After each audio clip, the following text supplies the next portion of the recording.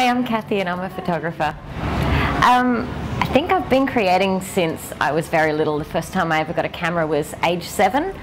I didn't do so well with that. I um, wanted to see what pictures I took and open the back of the camera and expose the film. So yeah, that didn't work.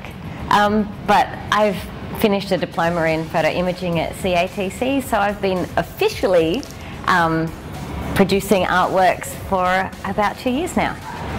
Uh, tonight I'm going to be showcasing a range of different images from my Bad Wolf series, which everyone seems to know and love, through to some new works, um, Asunder and Immersed and Emilia, which is based on like romanticism and painting. So yeah, it's quite different.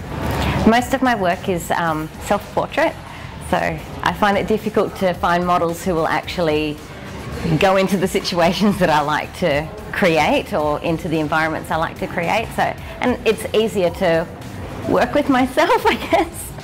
Um, and a lot of my images have textures overlaid on them as well, so it's it's quite dark.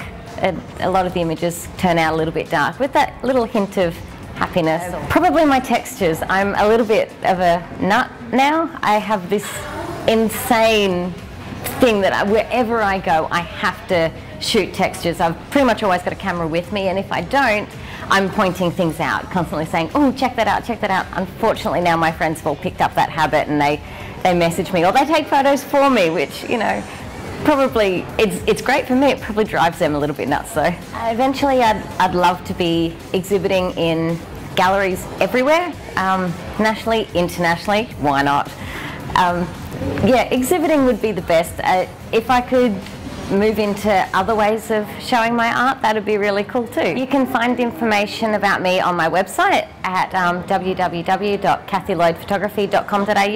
or on Facebook, so it's Facebook forward slash Kathy Lloyd Photography. So yeah, look me up. My name is Kathy and I'm a raw artist.